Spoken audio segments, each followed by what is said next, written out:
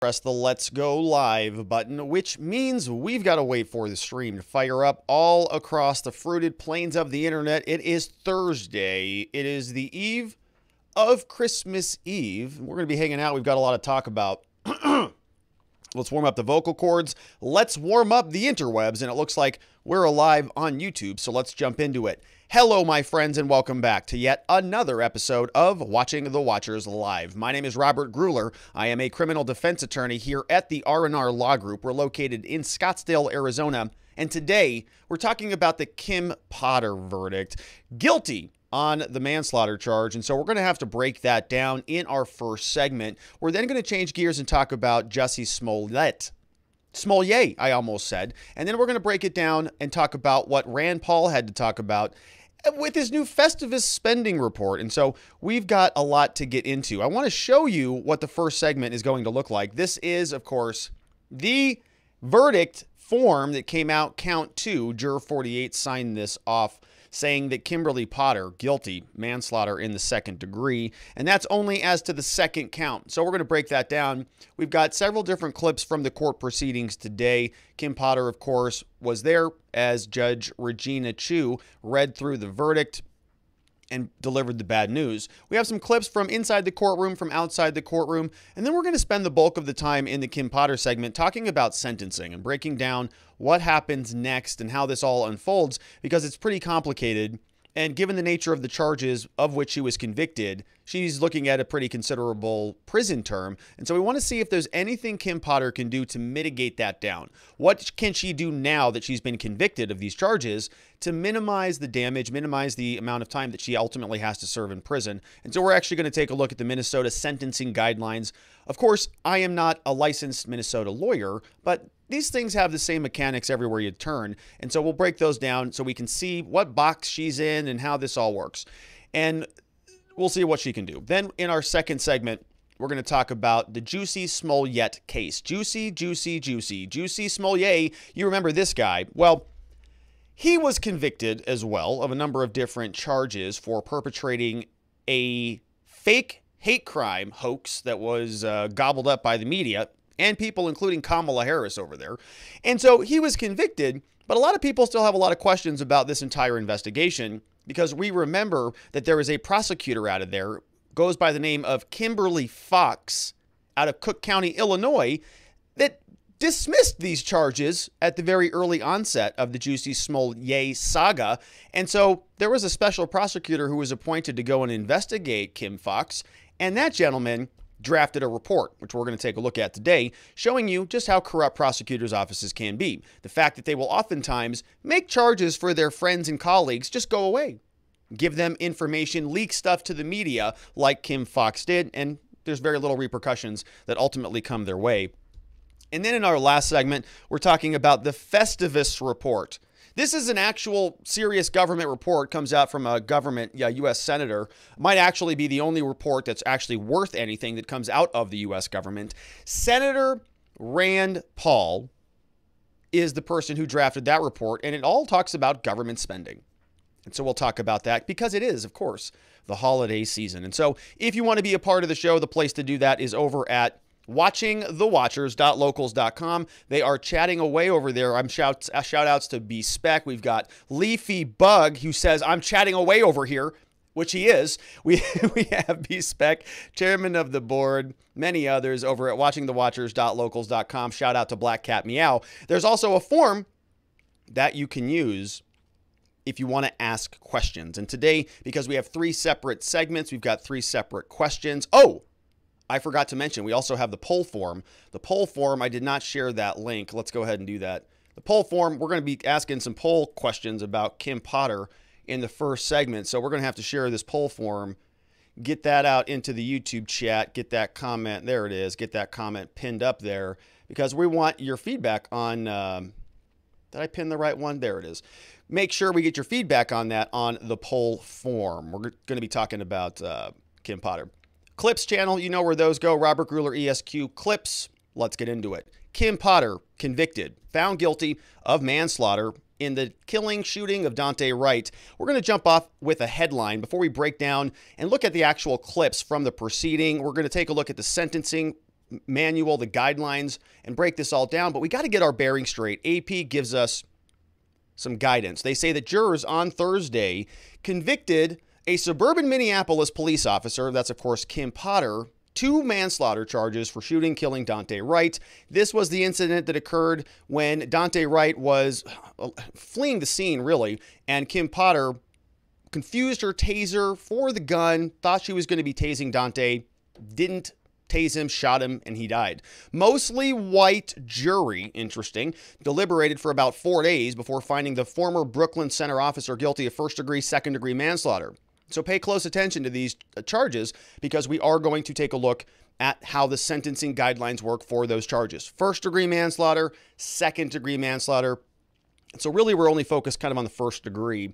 Potter, age 49, faces 7 years in prison according to the AP on the most serious count under the state's sentencing guidelines. Prosecutors say they would seek a longer term. And so we're going to be spending time talking about this, okay? These sentencing guidelines, you're going to see the AP says it's seven years. I'm seeing other people say it's 15 years. I'm seeing other people say it's 10 and, uh, you know, aggravation for a weapon and all of that. That's all fine. Uh, we can we can talk a lot about the, the, the actual length of time. The bigger concept that I want to get clear on here in this segment is about the the process by which this happens. Where we start when we're asking how much time, now that they, she's been convicted, how much time does she actually serve? Let's put a pin in that. We'll come back to that in a minute. So before we get to the actual analysis of the sentence, of course, we need to take a look at what happened in court today. And so if you haven't seen it yet, this is Judge Regina Chu, who is actually reading the verdict form. And then, of course, we're going to see Kim Potter here on the left,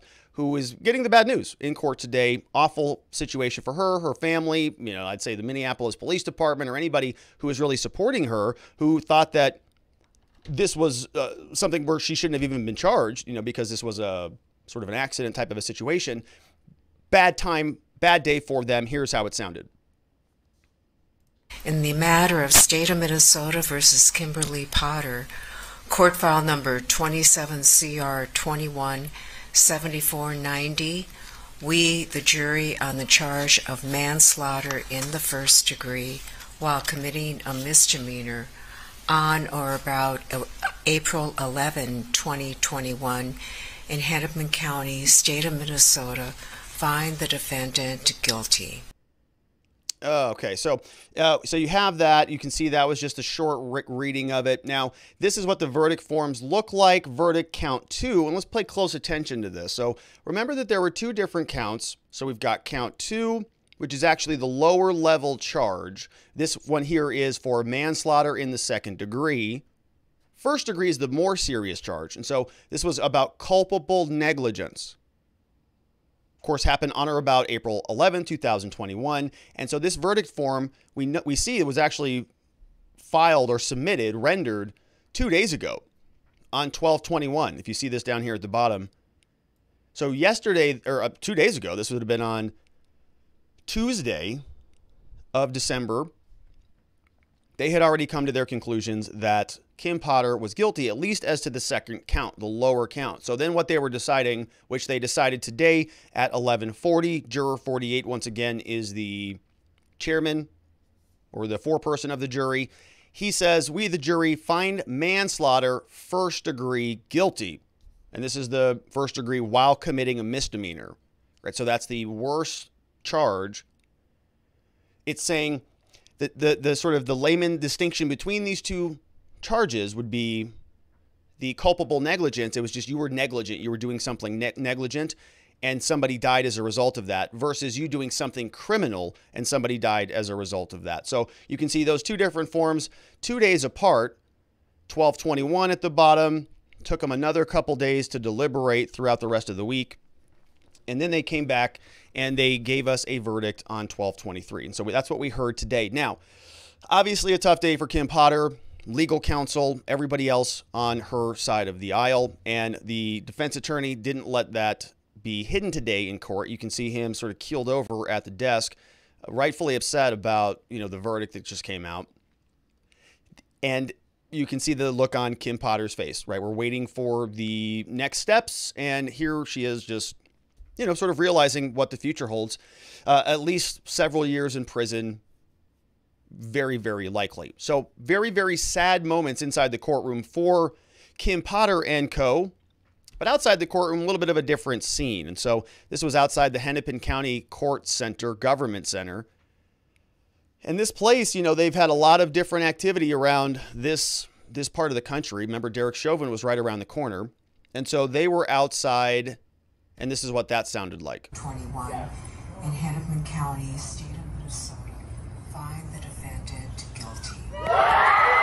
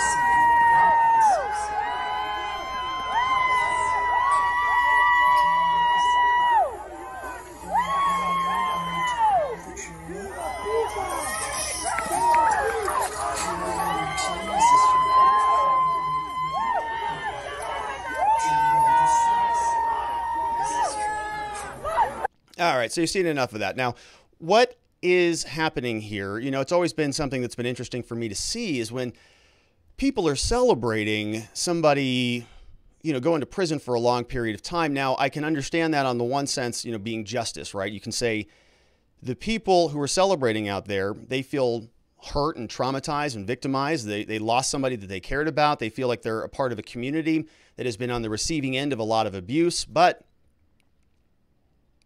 does that celebration bring back the, the member of their community? No, but maybe it might satisfy them. It might say, hey, this is something, this is justice because this cop, whatever they believe about her, whether she's, they might claim she's racist or that this was intentional or that this is justice, that's that satiates them. Now, we talk about this in terms of incentives and, you know, what is a verdict like this? What are the incentives that this creates? Here we see a situation where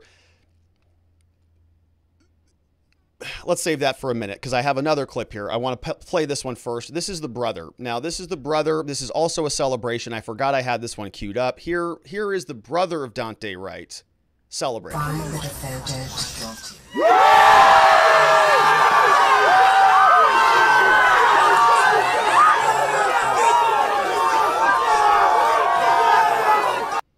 Okay, so yeah, strange, strange, strange reaction. Uh, you know, look, as I said, there's kind of two different spectrums on this thing. On the one side, you can see how somebody who lost a family member, lost a brother, might feel you know absolutely victimized. Somebody shot and killed that person, and so a day like today is is justice.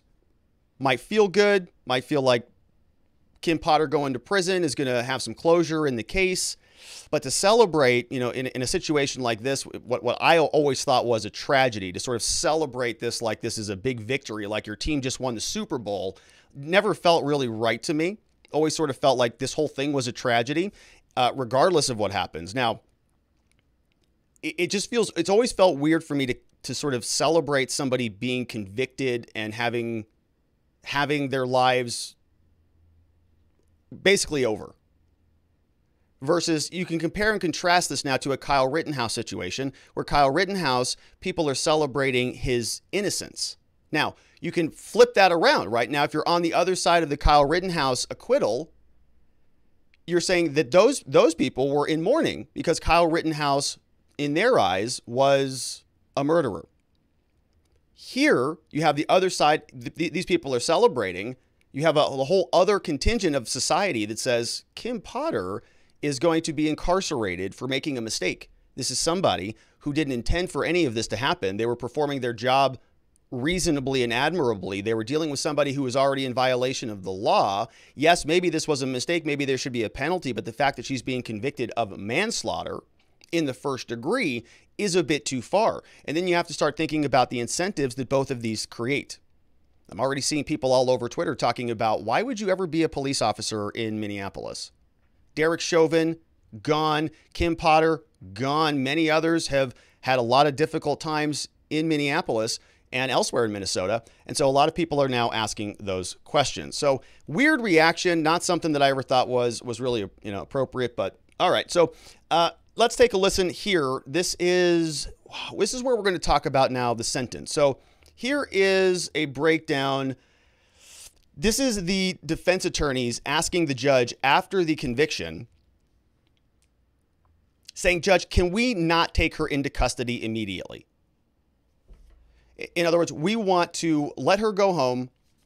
Let me break this down a little bit further. In a criminal case, there's really before somebody goes to prisons, there's kind of two main components that you need. First of all, you need a conviction. You can't send somebody to prison if they're innocent. And so once you have that first light switch go off, okay, conviction.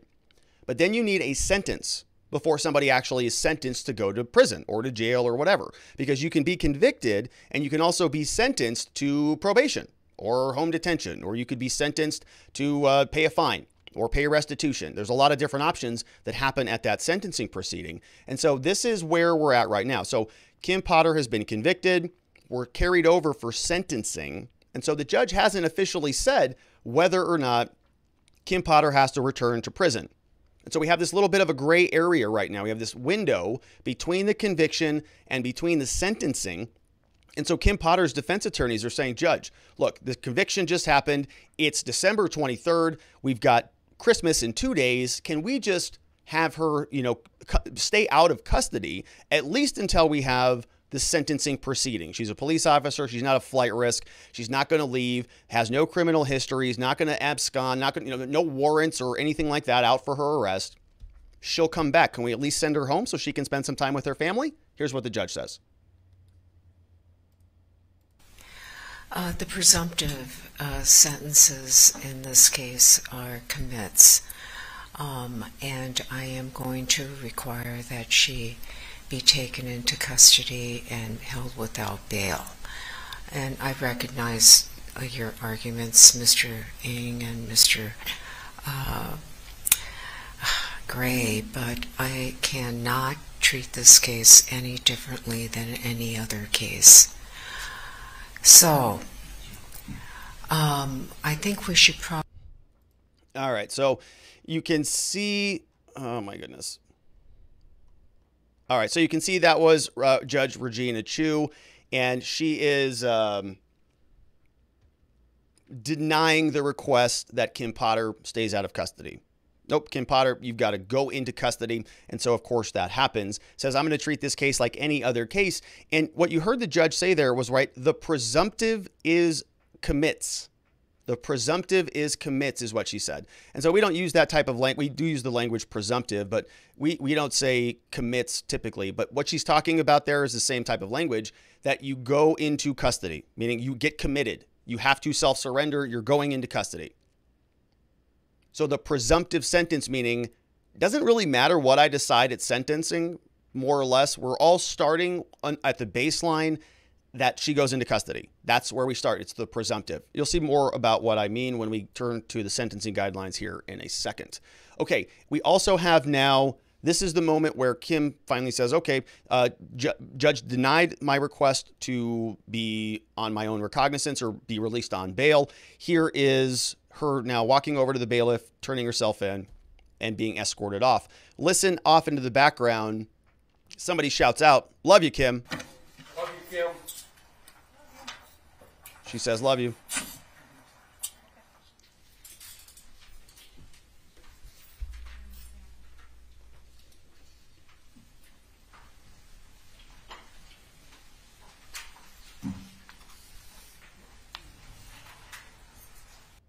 Okay, so then she's taken out. Now she's going to be, you know, we, we don't know what the ultimate sentence is, but we can get a little bit of guidance here from the AP before we take a look at the sentencing guidelines. Second degree manslaughter charge. We see that that was the government having to prove that she was uh, guilty by her culpable negligence. We can kind of skip over that. All right. Under Minnesota law, Defendants, like Kim Potter, they're sentenced only on the most serious conviction if multiple counts involve the same act and the same victim. So it sounds like we're probably only going to be talking about really a penalty for that first count.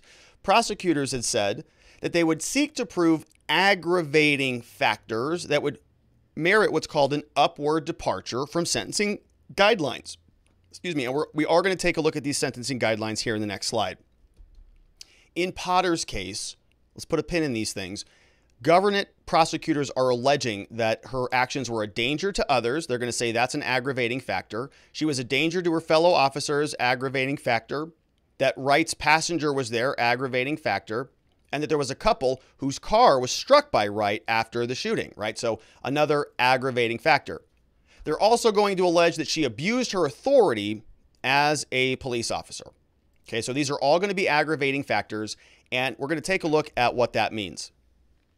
So, if you actually go over to the Minnesota sentencing guidelines, here is a chart that is a sentencing guidelines grid. Now, wherever you're watching this, there's a lot of details on this. And I don't want you to pay too much attention to the details. We're going to talk about this in just the, the baseline mechanics about how this all works.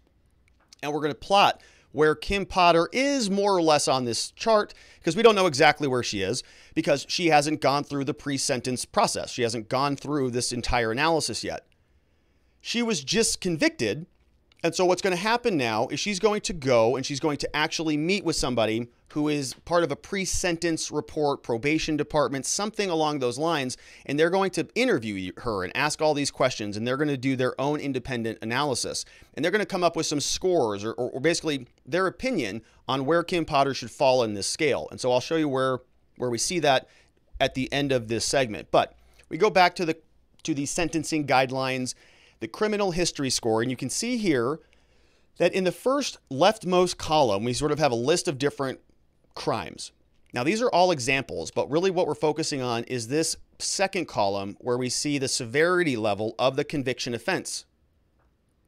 So here you can see sort of at the low level, you know, fleeing a peace officer, that's going to be a low severity penalty. That's going to be a, a sort of a severity level one. Whereas murder in the second degree is going to be at the very top. So that's going to be a severity level 11. So you can kind of see it just scales up from bottom to top, 1 to 11. Kim Potter, based on what she's been charged with, she is going to be right here as a category nine. I think I have a slide, take my word for it, that this is the category that she's in. I think I think I've clipped this out, but this is where she's at. You can see she's at a severity level nine. She is not at a severity level eight. That's going to be crimes like first degree burglary, first degree weapons or assault, aggravated robbery, those types of things. Somebody died in this case. So she is one level up above that at a level nine. Now, you can also see that within these charts, within this chart, that every single one of these boxes that Kim Potter is in is a white box which means that she is not probation eligible. Okay, so you can see these gray boxes. These are for lower level offenses, and these are also for lower level offenses for people with lower criminal history scores. So on the x axis, the criminal history score, you can see that as we go up the y axis, it goes from low severity to high severity. As we go from left to right on the x axis, it goes from low criminal history score to higher criminal history score. So, it, sort of the, the top right of this chart is going to be somebody who has the most serious crime and the most serious criminal history, whereas the bottom left is going to be somebody that has the least serious crime and the least serious history. And so you can see these are all just boxes. And so depending on what you're charged with, depending on what your criminal history score looks like, depending on a bunch of different factors, you're just trying to identify where somebody falls in on the box. And this is how prosecutors and defense attorneys and judges and everybody are negotiating a lot of these different outcomes. And so Kim Potter, we can see, as I mentioned, she's at a severity level nine. And so she's going to be right here in this category. And you can see that every single one of these boxes, like I said, is white. It's not grayed out, which means she doesn't have the ability to have that sentence stayed if she stays in this category. Okay, if she stays in that box. Now, let's say, for example, that Kim Potter, she goes through the pre sentencing report and they come back and they say, look, she's a police officer. She's got no criminal history at all. She's in a category zero for criminal history score. And so she's going to fall right in this box right here. 86 is the presumptive number of months she spends in prison because she's in this category severity 9, zero criminal history. Now you'll notice that there's also a number that's right underneath that 74 to 103.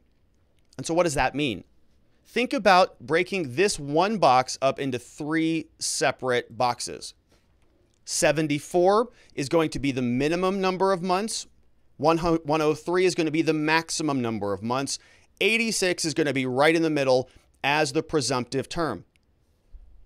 And so I know this is getting kind of, you know, into the weeds and complicated a little bit, but you can see here this is what the judge is allowed to sentence Kim Potter to. And they tell us this right at the top. Italicized numbers at the bottom, the 74 to 103 that are within the grid, are the discretionary range within which a court may sentence without the sentence being deemed a departure. Okay, in other words, if the defendant, if the defense attorney, I'm sorry, if this judge sentences Kim Potter outside of the 74 to 103 range, if they sentence Kim Potter over 103, they need an upward departure. They need to aggravate it. If they sentence it below 74, then they need a downward departure. She needs mitigation. Something that's going to make it, you know, convince the judge that you are allowed to get out of that range. So the defense right now is doing everything they can possibly to justify a downward departure to break outside of that 74 month limit, that bound. Reduce it all the way down. And so a downward departure would sort of break out of this box. And, the, and, and both sides would need to justify it. Now remember, the def- so we start here at the middle. The prosecution wants to aggravate it. They want to make it worse. We started 86 months. Everybody, all the courts and all the judges and everybody has come to terms and they agree that sounds about right as a starting point. Prosecution says no. We already went through the laundry list of things. They said she uh, was a danger to Daunte's passenger. She was a danger to the couple that other that were uh, hit by Daunte's vehicle. She was a danger to her fellow police officers, and she abused her authority as a, her discretion as an officer. So they're going to ask for a lot. They want more than 86 months. The defense is doing the opposite.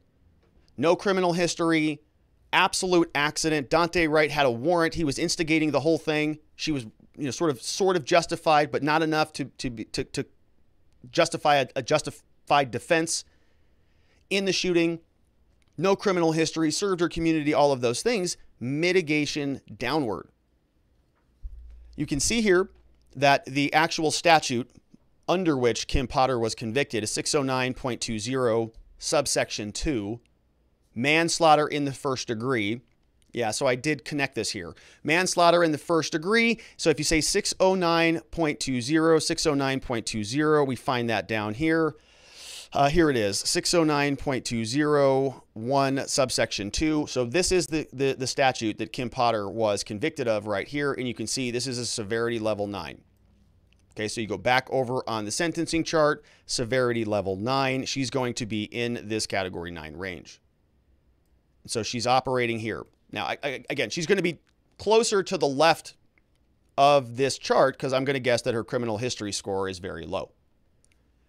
And so we can see now she's also got, uh, you know, potential for aggravators and things like that. I'm not sure exactly if they're you know if they're going to be using this the fact that she was using a firearm oftentimes can aggravate the penalty.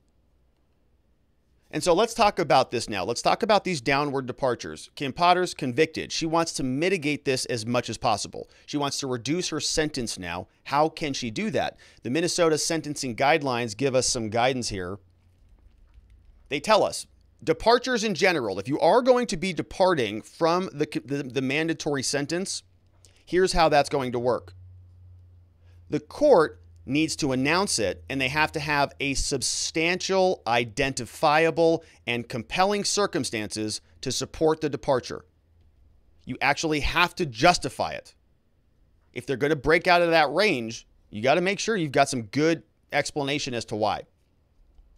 They say here when imposing a sentence that is an aggravated departure, it's recommended the court pronounce a sentence proportional to the severity of the crime and the sentence that is being imposed. Okay, so what does this mean? Let's let's take a look how this works in practice. Okay. We take an individual like Kim Potter. She's been convicted of a bad charge. We know she's going to be sentenced. And so what our job is as, as a defense attorney is to say, listen, we've got to make Kim Potter look like Mother Teresa somebody who is so such a good human and we're going to layer on levels of mitigation. But we got to know what the rules are. How do we how do we dress Kim up? How do we dress a defendant up to make sure that we can present them in a light most favorable to the court so that we can get the best deal? Can we say she's a police officer? This is somebody who served her community as a police officer for 25 years or however long it was. Can you say she's got a badge, judge? Look how much she cares about her community. Can you say that? Does that justify anything? Let's take a look and see what Minnesota says. Factors that should not be used as reasons for departures. You should not give Kim Potter a better deal based on her race. It's kind of obvious, right? You don't want to give white people a better deal than a black person, would you? No. So you shouldn't use that as a reason. Also, sex should not be used as a reason for a departure. You wouldn't want to give a man a better outcome than a woman or a harsher sentence than a woman, would you? Of course not. But here you see it as well. Employment factors, including things like employment history, employment at the time of the offense, employment at the time of sentencing, occupation or the impact of the sentence on a profession or occupation. So the fact that she's a police officer is not worth anything for a departure. Now, shouldn't be a departure upward either. Right? So the, the prosecution shouldn't be able to come back if, if the defense can't use this to deviate down. If the defense can't come in here and say, yeah, she's a law abiding, lawful police officer serving your community for a decade, she can't use that to to get a better deal, but neither should the government be able to use it to give her a worse deal. And why do we have this in the law, right? This is not just for police officers, but you don't want somebody to come in and say, "Yeah, I mean, I killed that kid in a hit and run, but I'm a surgeon. So if I go to prison, I can't do brain surgery on all those little Johnnies and Susies out there and save their lives." Justice says, well, I don't care if you're a surgeon, you broke the law. So you did what you did. You don't get a benefit. If you're what, a, a senator and you run over a woman in the middle of nowhere and throw her body in the bay, you know, you shouldn't be able to get away with that stuff just because you're a senator. Employment factors don't matter. Same with social factors. Okay. Somebody went to Harvard, even Oxford, even Jake Sullivan from Oxford can't use that for a departure. The length of your residence, your marital status, any of that stuff is not a justification for a departure. So, lastly, we have subsection E the defendant's exercise of their constitutional rights is also not enough to justify any departure. Got to find some other reasons to do that. So, the fact that Kim Potter is just a police officer, it's a neat detail, but that's not really anything that's going to justify a downward departure. Now, what might? What might be used to mitigate this? And remember, we start at the middle. Defense wants to mitigate it and reduce it from 84 months down to as low as humanly possible, even asking for a departure outside the range if possible. Mitigating factors. Sentencing guidelines tell us Number one, the victim was an aggressor in the incident. How about that? Sounds like that might be a pretty good one to justify a downward departure. Many people saw the body camera footage. I think that a judge could easily check that one and say, yep, Daunte was absolutely an aggressor in this case. And therefore, that is a mitigating factor that justifies not only a downward deviation within the range, but something that justifies a departure outside of the range. Number two, the offender played a minor or passive role in the crime. No, I wouldn't say that, but how about this one? Or participated under circumstances of duress. Yeah, I would say she was under duress. Now, the corollary to that, the response by the prosecution would say she's not under duress. This is part of her job. But I still think from a human sort of physiological standpoint, yeah, Kim Potter was absolutely under duress. She was in the middle of a fight with a young man. So I think that that one goes in her favor. So I'd give her a check on that one. How about the next one? The offender, because of physical or mental impairment, lacked capacity for judgment. No. No, I don't think so. Kim Potter was competent and capable. Voluntary use of intoxicants? No, that doesn't count either. So, no on that one. How about this one? Other substantial grounds exist that tend to excuse or mitigate the offender's culpability, although not amounting to a defense. I like that one as a mitigator. So, what does this say? Substantial grounds exist to excuse Potter's conduct, but not enough that it would justify a legal defense.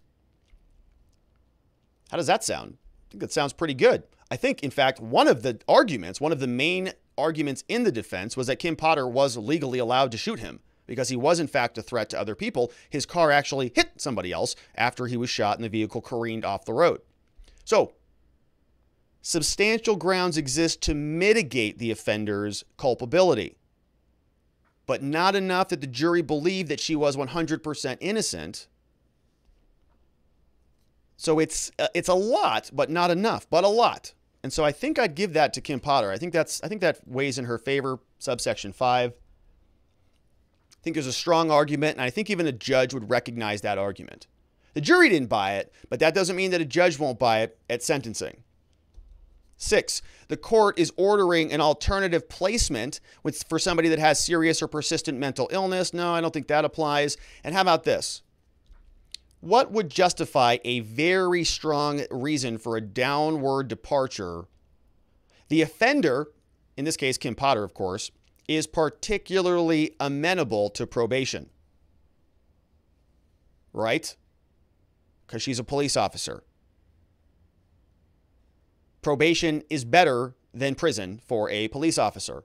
This factor may, but need not be, be supported by the fact that the offender is particularly amenable to a relevant program of individualized treatment in a probationary setting. Okay, so like could Kim Potter take, you know, firearms training, you know, or some sort of a relevant program about, you know, responsibility or whatever? Is there something that she could do in lieu of going to prison? Does it makes sense for somebody who is particularly amenable to probation to allow her to do that. And so, as a defense attorney, I am jumping all over that one all day. Heck yeah. Find some program for Kim Potter, no question about it. So, you go down this, I'd say you've got one, two, I think I cut out four because uh, it wasn't applicable at all. So, yeah, you've got four good factors here out of seven. That looks pretty good. Let's see what else we have over here. Not sure that either one of these apply. Okay, Kim Potter was not convicted of anything that was a, substance abuse crime. And I don't know if she's a veteran or anything like that, but if she did have any experience in the armed services, she could see where some of those mitigating factors would come into play. So, the good news for Kim Potter victim, Daunte, definitely aggressor. Offender played a minor role. No, not so much, but she certainly was under duress, and that's part of the guideline, so I would latch onto that. Other substantial grounds exist to mitigate her culpability 100%. And lastly, she's very amenable, somebody who's very, very well suited for probation. So, those are what you can expect to see her defense attorneys to jump all over, rightfully so. What is the government going to do? The prosecutors are going to do basically the exact opposite of this. They're going to say Daunte Wright was a very vulnerable victim. He was a young man. And Kim Potter shot and killed him. He was particularly vulnerable because he was so young. He didn't know what he was doing. And as a police officer, she knew or she should have known about that. She should have seen that this was just a kid and that something like this could have happened. She's an officer. She has intelligence. She has street smart. She has training. So I think that the prosecutors will try to latch on that one. He was young and she should have known better. Number two, the victim was treated with particular cruelty for which the offender should be held responsible. Uh, you know, I'm not so sure about that one. I don't think that one applies. Of course, I'm a defense attorney. I think that a prosecutor would probably say that, yeah, she shot him instead of tased him, which was the underlying offense. So I don't think that. I don't think you can say that. I think that the cruelty would have to come sort of parallel to the offense or subsequent to the offense. You know, she shot him. She didn't shoot him cruelly. She shot him, which includes cruelty, but she didn't shoot him 17 times. Officer Remington, who shot the gentleman in the wheelchair nine times, right? That was a cruel, I think, cruelty in shooting. That's not the case here. So I don't think that one actually applies. If I were a judge, I'd say no. The current conviction is for a uh, uh, sort of a Jeffrey Epstein type of offense. No, the offense was a major economic offense. No, like stealing money concealment of property, anything like that. The offense involved a controlled substance. Nope. You can see a whole big slew of uh, aggravators there. Whether you know, so so if you're in Minnesota and you're worried about drug crimes, if you've got three separate transactions, that's going to be an aggravator. Okay, so three. That's how they get. They do that in Arizona too. Three. Three different uh, sales, they'll get you for three different dates of offense. Boom, three different charges. Boom, aggravated. You can see, and so you'll have one undercover officer who buys from you three different times. And they'll typically do it over the course of a week, and then they arrest you. Uh, the offender, no, okay, so all, none of that applies. That's all for drugs. How about another one, subsection six? Did Kim Potter commit a crime for hire? No. The offender is being sentenced as an ingrained offender, somebody who has repeated multiple things? No. Is she a repeat offender, third or more violent crime? No. Is she a career offender? No. Is she part of a group of three or more offenders who all actively participated in the crime? No. Did she intentionally select the victim? No. Did she use somebody's ID? No. Was it committed in the presence of a child? I don't know how old the other person was, and it was a passenger in the vehicle, but Maybe. The offense was committed in a location in which the victim had an expectation of privacy. Again, no, it was in a car. Supreme Court has found that to be pretty, uh, pretty public. So, not too much here in terms of aggravating factors that we can see from the sentencing guidelines. The government, of course, is going to try to aggravate this aggressively. They have already communicated as such. In fact, these are the factors that they are saying they're going to be using. Danger to others, danger to her fellow officers. Passenger was struck, and she abused her authority as a police officer. So, sentencing will come back and we'll see what that looks like. You can see here that uh, today the court docket was updated. Both verdict orders came in at 1223. We already talked about those. We also see here that this, this pre sentence investigation report was ordered by the judge. And then we have a number of these other orders. Temporary commitment, we can see that, right, this is Kim Potter. She's going into custody. Jury instructions all got filed.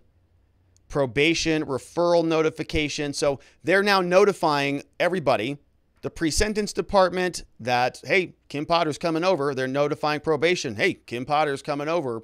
And they're notifying the jail. They gave him a jail order. She's coming over. She has a court order to be committed. This is what it looks like.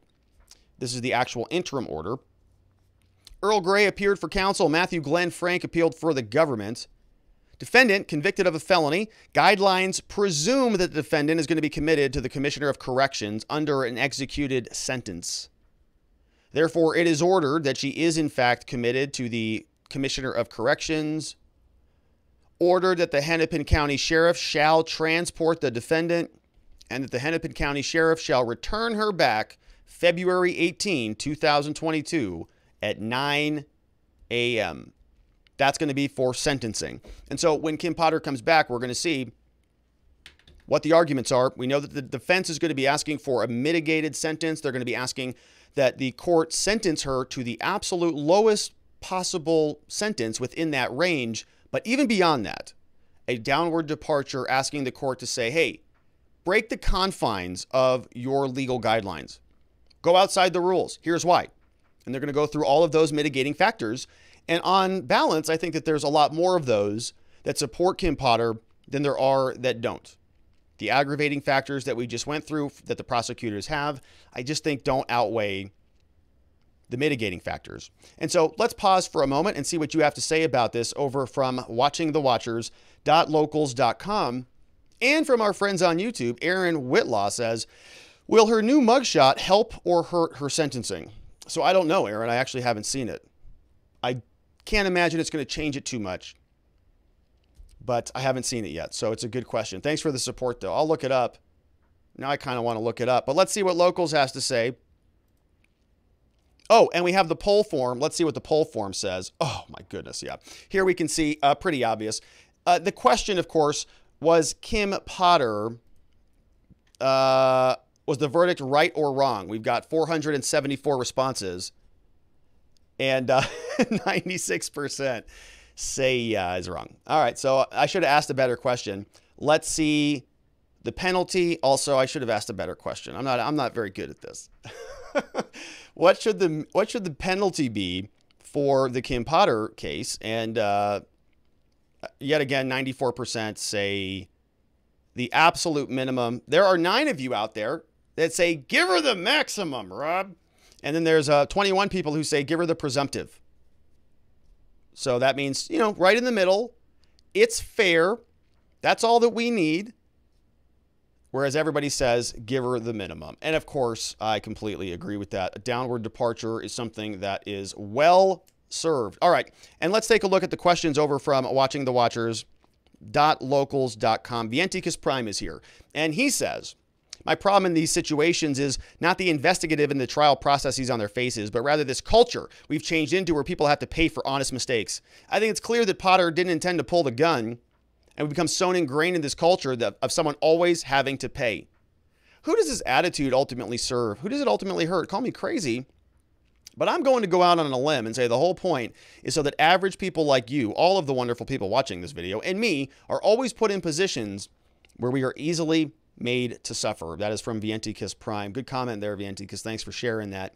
Yeah, you know, it is sort of that society. You know, our just our, our system is very much like that. And it's something that I have a big problem with. I rail against it all the time. You know, we we are all human. We all make mistakes. We all screw up. We've all broken the law. There are many studies and analyses and books and articles and essays that they, you could be convicted. Everybody could be convicted just waking up and going into work in the morning, right? They could find something because the criminal code is like this thick everywhere you look.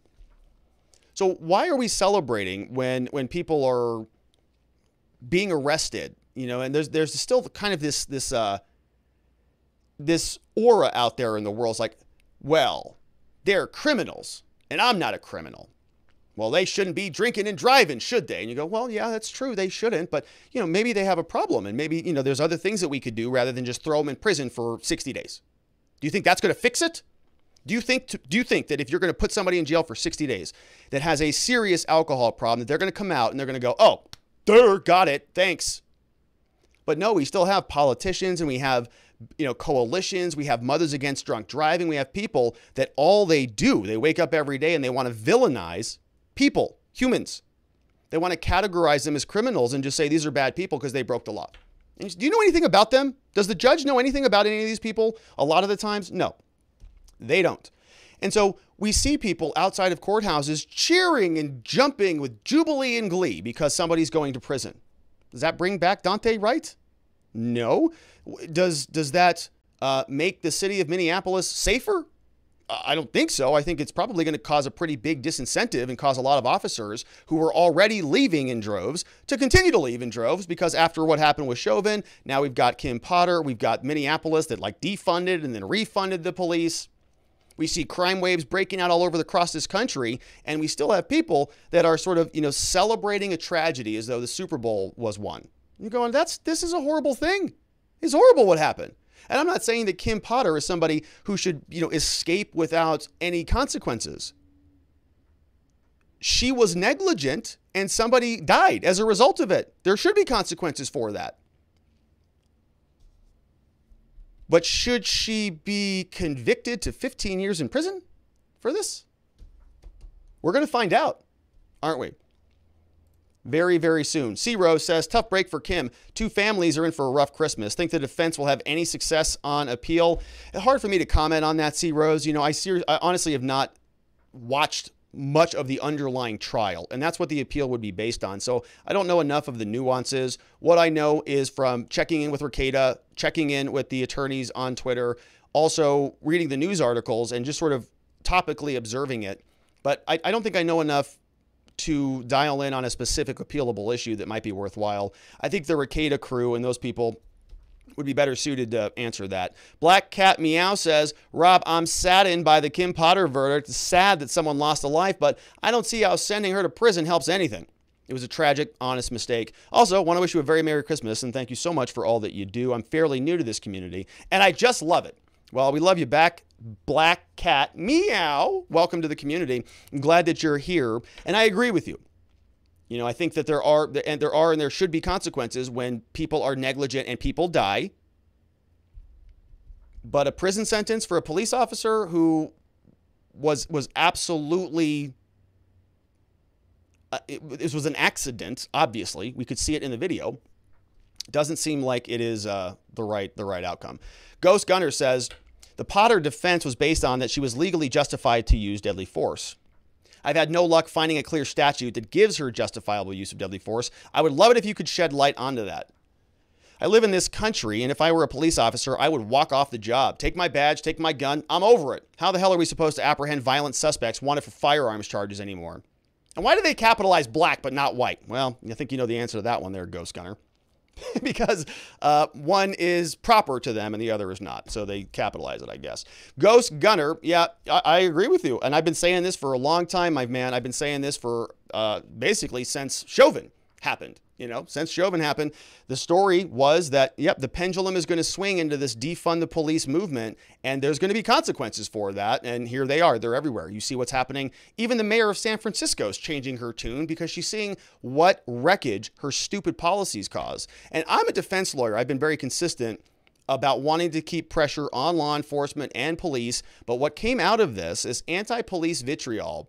This idea that that you can sort of uh, demand that law enforcement take the pressure of the entire country's racial uh, animus on their backs is nonsense. It's absolute nonsense because it's not anybody's sole burden to carry that thing. You can't demand that of the police. Didn't I think uh, we covered a story here on this channel where in Portland they they wanted to create a special unit out of the Portland police and everybody was leaving because they were going to defund them. And so they created this little unit that was supposed to also, in addition to all your police duties, also go out there and repair racial relations uh, in the communities or something like that. Like there were line items in the job description, bullet point here solve racial uh, animus throughout Portland. And these guys are going, what the hell are you talking about? How are we supposed to do that? You know, because if they go out and they and they engage in the community, and an accident happens and something like this goes down, right? They're they're they're instantly prosecuted and they're defunded. And so I, I don't disagree with you, Ghost Gunner. Uh, if you're not respected and appreciated in your position, there are other places you can go. And that's going to happen. It is happening. It's already happening. And I think it's going to continue. And so I, I think these people celebrating are going to be looking around their own cities and saying, you know, it'd be really nice to have some police officers around here. I wonder why all this is happening.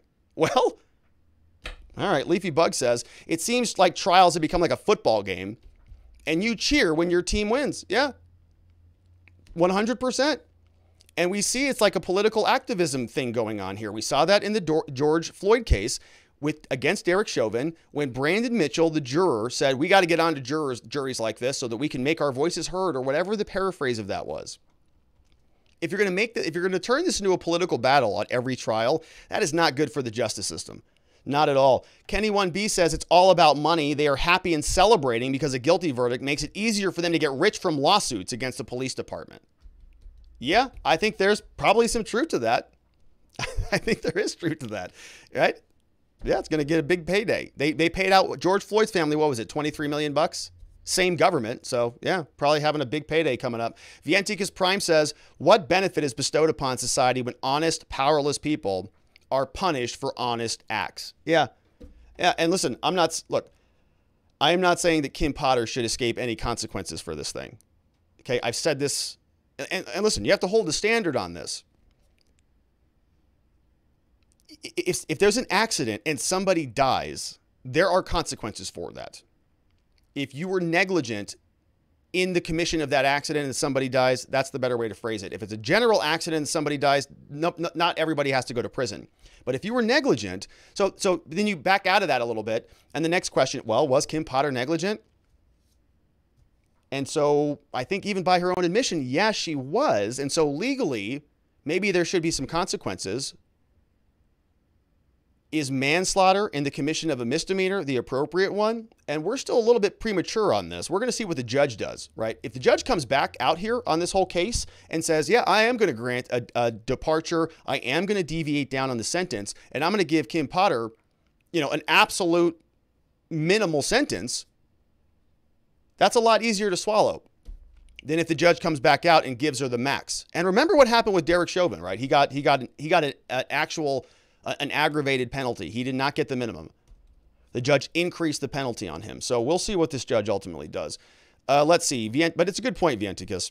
Sergeant Bob says, Judge Grinch. Yeah. I don't know how everybody was listening to that to that judge for uh, two weeks or three weeks. Thunder 7 says justice is dead in America. Wokeism has destroyed the legal system. I thought the country was getting back on track with Rittenhouse verdict, but this has destroyed my faith. A cop without a complaint in 26 years makes an honest mistake and the moronic jury vote to convict her of manslaughter. And the judge is not only moronic, but a demonic to treat Potter like she's a criminal, like the one she used to arrest. A sad day indeed. That's that's from Thunder 7 in the house over at watchingthewatchers.locals.com. We've got a couple more. Leafy Bug says, I hear that multiple victims of Daunte Wright have already filed claims against the payout his relatives are all expecting to receive from the city. How much chance do you think they have of receiving any or all of that money? Do you think lawyers will end up pocketing most of it if it's heavily contested? Uh, uh, no, I can't imagine that. So they're filing lawsuits against the family to sort of secure their line in getting paid out. I'd have to know what the payouts are. I mean, what are they? I mean, like, yeah, like if, if the Daunte Wright family has, like, you know, back due child support or something and they get, you know, hit with money and the court sees that in their bank account, they're going to go get that. But, you know, do they have all sorts of past debts and, you know, old business obligations? I, you know, I'm not sure. It's a good question, Leafy Bug probably better for a civil lawyer. C Rose says, Rob, I forgot. Merry Christmas. Merry Christmas to you, C Rose, and to your family and to everybody else out there. We are right around the corner from that lovely holiday, aren't we? Sergeant Bob says, speaking from my 31 years as a police officer and supervisor, this will reaffirm that police should only take assigned calls, not do, quote, self initiated activity, which has helped keep communities safe. Criminals will, quote, be let go rather than an officer trying to take the bad guy into custody. This is not what cops want, but they must entertain the risk management idea of choosing the alternative with the least potential risk. This is already being seen in communities that do not support police, a bit less so in more conservative areas. Look for the trend to continue. Sad. I had a lot of good times, interesting cases, and fun in 31 years. What would I encourage a young person to become a cop today? Hell no. Sad commentary on what it is today. You know, Sergeant Bob, thank you for sharing that and and I think what you're describing is is the idea that you know police are going to see the consequences of their actions and they're going to they're, they're just going to make adjustments on their own. In a case like this, you, know, you can make the argument that Kim Potter was was trying to do something for the benefit of the community, approached this guy, was going to make an arrest, he had a warrant out for his arrest, supposed to go lawful. I think what you're saying, Sergeant Bob, is they're just not going to care about that stuff anymore. Uh, run free then. If I'm going to arrest you and expose myself to potential criminal liability or potentially risk an altercation, I'm just not going to risk it. Because I'm not going to go to jail for 15 years like Kim Potter did. What are you, nuts? All right, got a warrant out, go, go wild, have fun. What do I care? Which is sad. And I, and I, can, I can understand that not being fulfilling. You know, it's like, Rob, go be a defense lawyer, but you can't actually defend anybody. I'd be like, what are you talking about? Why would I do that? That's nuts. You want me to go uh, uh, be a musician, but I can't play any instruments? That's insane. How can I be a police officer and I can't go and serve and protect my community against the bad guys? Feel very frustrating. I can understand that. And so if you're if your own community won't support you and they say get out of here, well, there's a lot of places that you can go. I think Florida's one of them. They're offering 5,000 bucks to relocate over there. Monster 1 says, Absolute travesty of justice. Kim Potter was a 25 year veteran, never had a single complaint against her. No, she wasn't a desk cop, ever as some people thought she was a street cop. No complaints, imagine that. The prosecutions literally argued that she was guilty because she carried a gun. That the simple act of her carrying a gun was reckless. I sincerely hope every cop in that area quits and people get what they deserve. Ooh, Monster One. That's a spicy one right there. Thanks for sharing it. And so, yeah, more on Kim Potter. Let's see. Sergeant Bob says Senator Ted Kennedy got away with killing Mary Jo Kopechne. Yeah, that's the one that I was thinking of as I was running through that little that little tirade there. Yeah, it, it, didn't they crash into a lake and he just like left her allegedly. Ghost Gunner says, talking about senators running over people and throwing them out on the road, paging Jason Ravnsborg, lol, no jail time. Attorney General of South Dakota walks. It's a joke. Yeah, we covered that case pretty in depth. It was a joke. And that whole thing was as corrupt as anything I've ever seen. Jason Ravnsborg driving down the road and just takes somebody off who's walking down the side of the street, kills the guy. Jason Ravnsborg, the Attorney General of South Dakota, just drives home. Oh, I don't know what it was. I have no idea. calls the police the next morning after uh, he has slept off all the alcohol, maybe. Very convenient. Very, very convenient. No investigation, nothing going on there. It's corrupt as hell everywhere you look, folks. I, I hate to say it. Red Jersey says, Hey, Rob, I'm surprised by the guilty verdict of Kim Potter, but I was concerned during jury selection. I was surprised the defense didn't reject more of them. They sounded like a bunch of liberals looking to prove their wokeness. It's a mind virus right now, this wokeness disease. Did you see Elon Musk was talking about that? Yeah, he was over on Babylon Bee. I haven't listened to the full interview yet, but Elon is coming out of the woodwork. He's not very uh, happy with this current administration. Apparently, the Biden and co. They're holding these EV summits for these electric vehicles, and they invited everybody except for Tesla, which happens to be kind of the only car manufacturer doing anything meaningful with electric vehicles. And so Elon was out there and said, don't pass Build Back Better. And then he was talking to the Babylon Bee and he said, yeah, the real virus that you have to worry about is this woke mind virus, which is true. It's pernicious. Got to be careful. NY Renal said if Kim Potter had not said taser, taser, taser, would she have been charged? Daunte was a fleeing felon.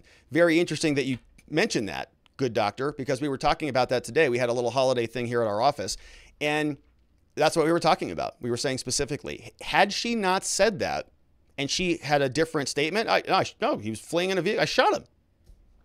I'm not sure. I'm not sure how this would have gone. I think she would have had a better shot. Ghost Gunner says that prosecutor, Keith Ellison, is a gigantic piece of garbage and he's also a moron. They let violent criminals run around Minneapolis with no repercussions, but God forbid a police officer. Better get him from trying to apprehend an adult out with a warrant. Yeah. Go get those police. The police are a big problem out there in Minneapolis.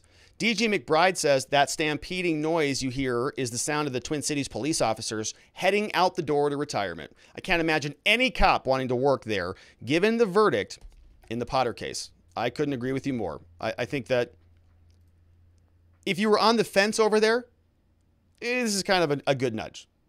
All right, sounds good. We're out. Sergeant Bob says nothing to be served by incarceration, bad mistake, probation, a political prosecution with a race card played yet again. I'd be perfectly okay with probation. I think that that would be reasonable. We have Kenny 1B says, trying to wrap my head around this one. How does a texting and driving resulting in vehicular homicide analogy fit? Uh, I'm trying to wrap my head around this one. Well, so so there's a couple things that you could analogize there, Can anyone be? You could say it, it, it's not quite the same, right? You, you have negligence, but you have different standards of care. Here, she's a police officer. A firearm is a deadly weapon, so it's a little bit different than a vehicle. Firearms have you know special rules, as we're going to talk about. Oh, actually, no, I have that for my. I'm working on an Alec Baldwin video. I was conflating the stories, but uh, yeah, v- firearms have a special category, so it's different than a vehicle, and I'm not sure that it fits in terms of a one to one comparison. Monster One says, at Vienticus, the prosecution admitted it was an accident. Their argument was she couldn't have pulled the gun if she didn't carry a gun, so that the entire act of even carrying the gun was negligent. Grouchy old cat lady says, Whatever happened to rehab for criminals instead of throwing the key away? At least for those that can be. Yeah, well, our society is sort of shifted against that. You know, there's, a, there's several different theories of criminal justice. One is retribution. You know, when you go into school and talk about political science and you ask yourself, well, why do we have a criminal justice system in the first place? And, you know, you have to start asking yourself some hard questions. Well, I want to live in a society that has order. Well, what do you consider order to be? Well, I guess it's this. Well, how do you define what that is? Well, it's people who don't you know do things that are outside of the norms of society. Well, how do you codify those things and what are the consequences and and what are the incentives that are created by the laws and the consequences that you impose? And do you want to incentivize that type of behavior because it might have unintended consequences and blah blah blah. So, because it is complicated and because sending people to rehab and giving two wits about them is a lot of work. It requires empathy, it requires humanity, it requires sitting down with people, funding and having conversations and putting together rehabilitation plan, all these things. It's it's a lot of work. It's very hard. You ever worked with an addict? You ever work with somebody who's in a difficult spot? It's a lot of work. So, it's a lot easier to shift our justice system away from any of that stuff from rehabilitation, treatment, empathy, concern, compassion, humanity, eliminating recidivism, any of those things. We can just go, that's really complicated. Plus, those are bad people over there, anyways. And so let's just focus over here on punishment, retribution. Very easy. All we have to do is just uh, look at a little box. Look at a little chart that I just showed you here that we actually do look at regularly and just say, Oh, well, we don't even have to care about this person's name or their background. All we need to do is know what their criminal history score is and just get a nice clean number that says uh, one through seven. And that's going to define that person for us. And then we're going to go to a little spreadsheet and we're going to identify what crime they got charged with. And we're just going to go like, bing. And then that's what we're going to do to uh, decide what to do with a human. And that's the process. And then we just uh, say, okay, they, they go in this box and um, sign these orders and give them some restitution payments and send them to prison for 15 years. Oh, great. And then they go through the, uh, you know, minor integration when they come back out. And that person's life is, you know, more or less permanently damaged. And we, as a society, just go, good job. How many convictions did you get, uh, DA? And they go out there, we're reducing crime and we're, you know, and they and they go out and they say the same stupid numbers every stinking election season, promising that they're going to do a bunch of stuff and nothing ever gets done. And so we continue to see this system that has zero empathy function. And you're seeing it with Kim Potter right here. Right? You might say, "Yep, this was a mistake. This was a this was an, a, an illegal thing. Maybe she should even be convicted of something." We're going to see what the penalty looks like. If the penalty is anything that is, you know, overly aggressive, we're at, we have to continually ask ourselves if we want empathy for Kim Potter, Kyle Rittenhouse, Derek Chauvin, or anybody else who's charged with crimes, as I scream about all the time, the Waukesha guy, right? All of these, anybody, the presumption of innocence, due process, people should be treated with empathy and dignity as they're going through the system. But too many people have just decided it's a lot easier to just say, uh, you're a bad person and you're a criminal, and so we're just going to be done with you. Ghost Gunner says, Rob, I live in this county, Hennepin County, not country. You're right in the thick of it there, Ghost Gunner. Monster One says, Rob, the defense use of force expert literally wrote the manual for the taser, lol. He testified that Kim was justified. Dude flies to Africa to feed orphans and does expert testimony for free, and seven out of 10 times testifies against the police. Yeah, it's pretty, that's a pretty compelling expert witness, isn't it? But the jury didn't buy it.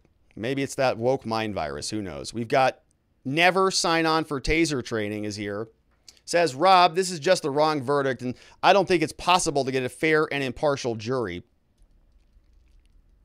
ever in Hennepin County. Cops should be sending in resignation letters. The Recato panel, Recato panel said this is going to become worse and worse in the Twin Cities if this type of jury you're going to get. They sent a note as hung. How many do you think got railroaded into a guilty verdict? Two to three? Yeah, I don't know. I don't know. A lot of pressure in that courtroom. Never sign on for taser training. That is from Never sign on for taser training. Good call. Llama Brad is here. Llama Brad says, seems suspicious the timing of the verdict. Last day before the holiday, several days mulling only two charges. They wanted to get home for Christmas. Sergeant Bob says, thanks to the Watchers community and you. Sure, cops are not perfect and real misconduct needs to be dealt with. Most cops try to do a good job and go home to their families every night and now for Christmas. Prayers are most welcome, and that's for Sergeant Bob. We do pray for you guys, Sergeant Bob. All all the good people out there doing good work. That includes police officers. Why would they be excluded? Vienticus Prime says, what you said while responding to my first question reminded me of a situation when I was in the Navy. I asked my chief, I said, quote, why is it that when I have to go to alcohol training, that I have to go to alcohol training with every new command I go to? He says, well, what does it take? Vienticus said, what, what do you mean? He says, "What does it take for me to no longer need to bail young sailors out of jail for you for doing something stupid anymore? What does it take for me to no longer have to call up parents because a young inexperienced sailor drank too much and died in an accident?" I thought about it for a while and I decided that people make decisions and people make mistakes. The challenge is determining which one is which. I just thought that little story might help drive the point home a little more. Well, thank you for that, Vienticus.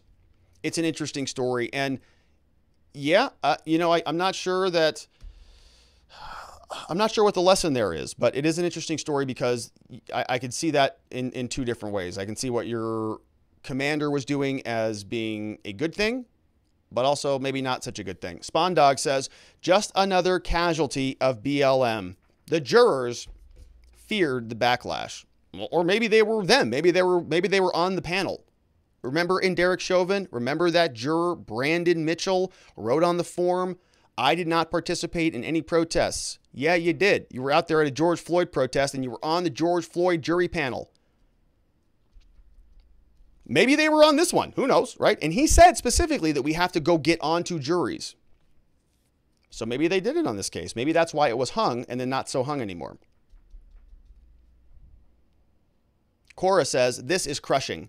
She is innocent. I'm a mixed race person. I'm livid at this verdict. Race should never have entered this matter at all. Jury should have stuck with the facts and left their emotions at home. That's for Cora. From Cora. Yeah, I think a lot of people are feeling that right now, Cora. Monster One says, as to the lawsuit money, Daunte's victims have no claim because it's not Daunte's money. The family is suing for their loss. If they were suing on behalf of Daunte, the victims might have a claim. Yeah, so I'm not sure what bucket of money we're talking about or why anybody thinks they're entitled to it, but if they're entitled to a bucket of money and somebody that, that's empty and then it fills and they're entitled to that bucket, they could probably get some of it. Greg Marat says, Hey Rob, since when did these court cases become so political? Was it since OJ?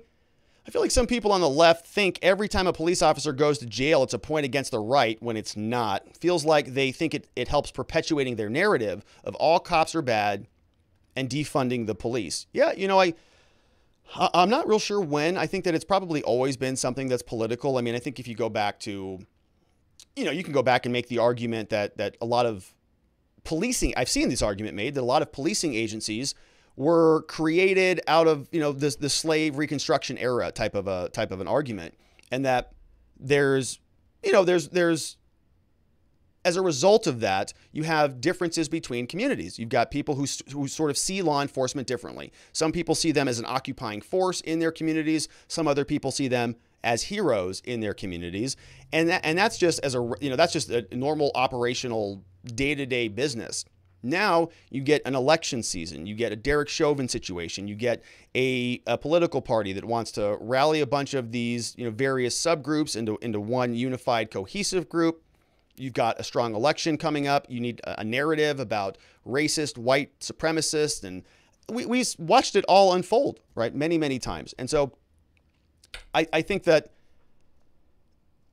I think that it's always been political. I think that sometimes cases become ultra political because people latch onto them. And you can even say the same thing about Rittenhouse. You know, Rittenhouse was some was, was one of these things that that people latched onto because they were identifying a fundamental right that was at issue the right to protect yourself, the right to keep and bear arms, the right to self defense. Critical. And so when that is feeling threatened or jeopardized, you're going to stand up and rally around it. And so I'm sure that those people outside the courthouse, maybe they're feeling the same thing. This is justice. Kim Potter's going to go to prison and somehow things are going to get better for them. I don't understand that, but Sergeant Bob says, Rob, you know I'm with you on many issues about trial and dispositions. Have a great weekend of Christmas with your family. That's from Sergeant Bob. Thank you, Sergeant Bob. And we, you do the same, Sergeant. We've got another no name says, What about jury tampering? Didn't a BLM activist show up to the judge's former apartment? Wouldn't a reasonable juror be afraid for their lives given the rhetoric? I'm not sure if that happened. It may, it may have, you know, I'm not sure that it happened or, or that it necessarily that it would impact the verdict. What I was talking about was BLM being on the actual juror jury panel. Now, if they're actually out there threatening jurors, yeah, of course, that's a that's a huge problem. It's illegal. John Halgren is here, says the biggest impact of verdicts like this will be reduced recruitment. Our morale in public service is tanking. That's from John Halgren, firefighter. So he can speak with authority on that. And I don't doubt that. Why would you have a lot of uh, energy when the people who are funding your department are basically saying that they don't want you or need you. You wouldn't. Monster One says, We're talking about the wrongful death suit the city and the state are going to inevitably pay out. So the victims of Daunte are trying to get a piece of the pie from the family when they win their 30 million or so.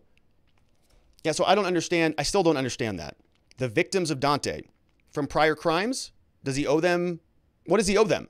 Restitution? How much is it? Thousand dollars? Did he steal some phones or something? Like, do they think that they're going to get a third of the thirty million dollars? Like, because the family got it, that they get a, a portion of that? That doesn't make any sense. Unless they have, like, unless Daunte, you know, uh, grand theft autoed somebody and drove drove their car off a ditch, twenty thousand dollars, you know, restitution order that he has to pay back to a victim, then yeah, they can go. The, you know, the victim, I guess, can can comp, can, can can get that. I guess if you're saying the victims are just going to go and file a lawsuit against the family for something that Daunte did, I don't know why they would be entitled or why the family would be liable for Daunte's actions. They're going through the family to get the family is getting compensation for they should have brought claims against Daunte, secured a judgment against Daunte or his estate, and then yeah, okay. So I don't I don't think it makes any sense. I don't think that they're going to recover much, but we'll see. Spawn Dog says, as much as the government hates that we keep and bear arms, that's the only thing that keeps us free at this point. That's why they want to take them away. That's from Spawn Dog.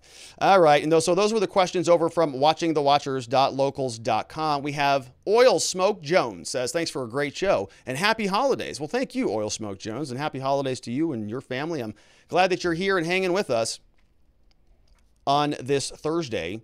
Eve of Christmas Eve. We also have Don Trump says a murdering cop is finally found guilty. Now you want empathy? F you. Well, first of all, I don't know about finally. I mean, Derek Chauvin was convicted earlier this year for, for, for murder or you know, homicide. So, you know, I don't know that it's like an aberration that this happened. And so, uh, you know, yeah, I am asking for empathy. I think that everybody who is in a in a criminal situation, even by the way, the defendants on the other side of this all deserve empathy. Kim Potter, Derek Chauvin, all of them. uh, and I know that people hate that, but it's just true. I think it's true. All right. And so thank you for the support, everybody over there. And we're going to jump into the next segment. So we're going to leave Kim Potter right there, and we're going to talk a little bit more. What time do we have? Yeah, we're gonna we're gonna talk about Kim Foxx now. We're gonna leave Kim Potter behind and we're going to change gears and talk about Kim Foxx because this is a another story that is making the rounds. So let me cue this one up. Kim Foxx, the former prosecutor for Jussie, the juiciest of the Smolletts, is in a little bit of hot water. You remember that her office was responsible for investigating this fake hate, hate crime hoax that Jussie Smollett foisted upon the country. And uh, Kim Foxx, her office, made this whole thing kind of go away on the early days of the entire investigation. And so we're going to take a look because her office was recently investigated by the Office of the Special Prosecutor out of Cook County, Illinois, and he found a whole bunch of problems with the way she handled the Smollett investigation. We're going to get our bearings straight on Kim Foxx. Here's what Wikipedia says about her. Born in 1972, she is 49 years old, Democrat from Chicago. Took office in 2016. Manages the second largest prosecutor's office in the United States 700 lawyers. Democrat won her office in 2016 against another incumbent and was reelected again in 2020. So she is sticking around for a, a, a while. Now, she runs this office of prosecutors, 700 lawyers, and they got a hold of this case, Jussie Smollett.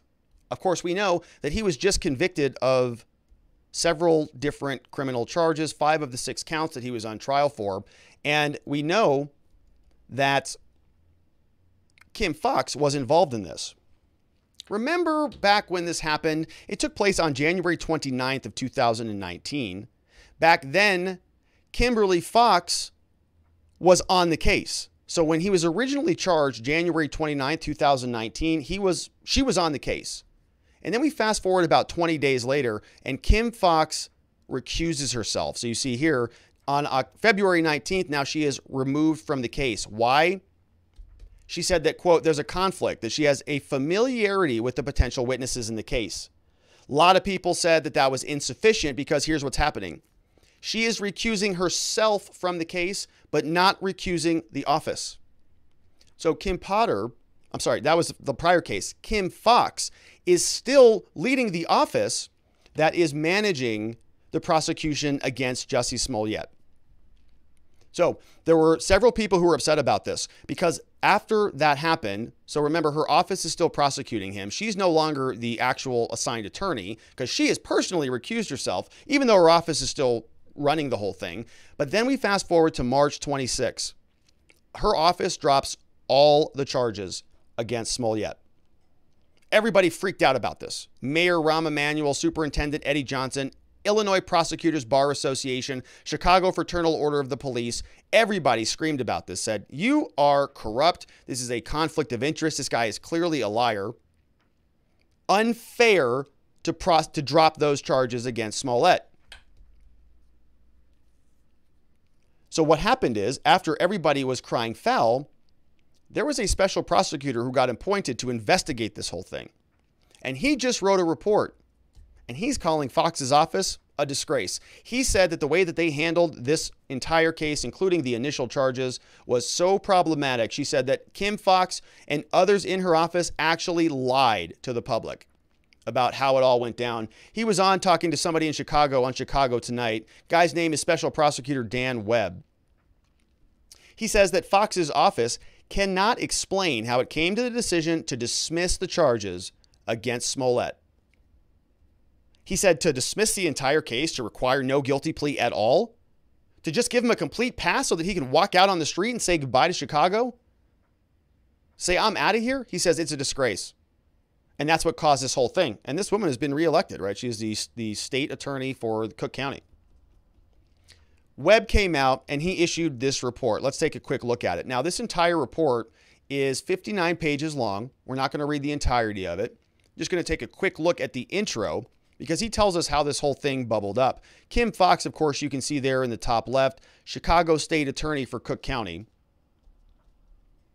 After her office dismissed this, of course, they brought it back and then he was ultimately convicted, but not without Kim Foxx trying her damnedest to make sure that he escaped any criminal liability.